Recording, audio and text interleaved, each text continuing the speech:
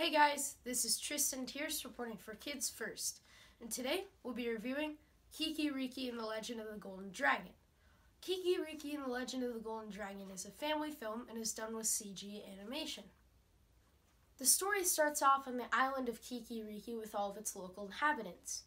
Now, the main plot of this film is that the scientist creates this machine called the Improverizer.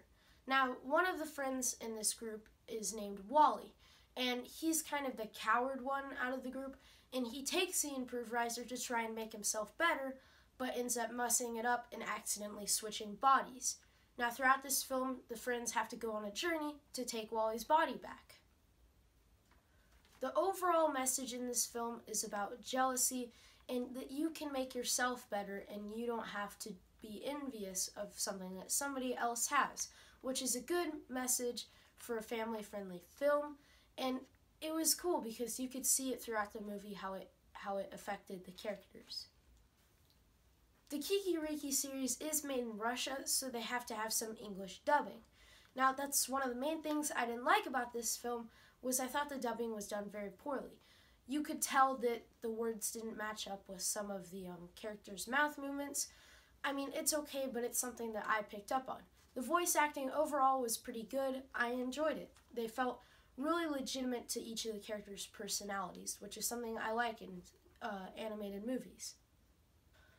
The animation is done in CG, like I mentioned before, and it looks amazing. One of the things I loved about this movie were the different landscape. They look so cool and were fitting for the world, and you could really dive into it, and I wanted to see more of the landscapes.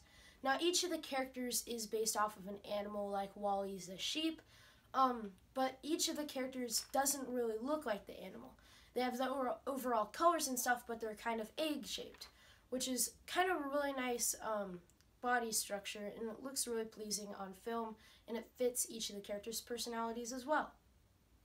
Kikoriki Legend of the Golden Dragon is rated PG for some crude humor and peril.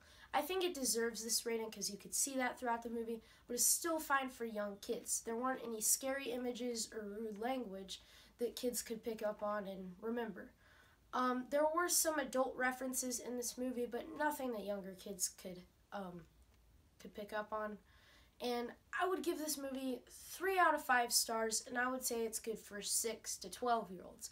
I think those are the kids that would enjoy this movie the most. My favorite part of this movie was Wally. I thought he was a great character. He really seemed fitting, and he moved the plot along a lot. So, this has been Tristan Tierce reporting for Kids First, and I'll see you guys in the next review. Bye.